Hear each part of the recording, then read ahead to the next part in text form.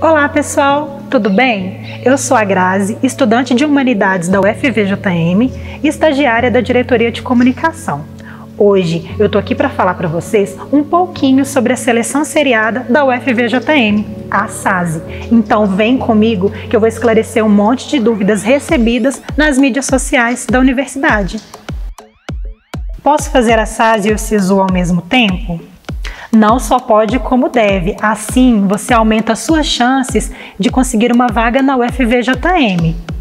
O SISU e a SASE são processos seletivos distintos e você deve estar se perguntando: mas a SASE não utiliza a nota do Enem na terceira etapa? Sim, utiliza a nota do Enem, porém são processos diferentes.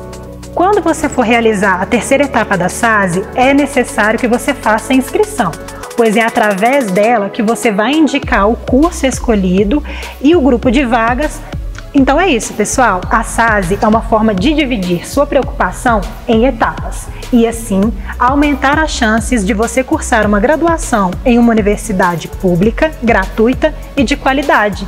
Nos acompanhe nas mídias sociais da UFVJM e fique por dentro de tudo que rola sobre a SASE. Até mais!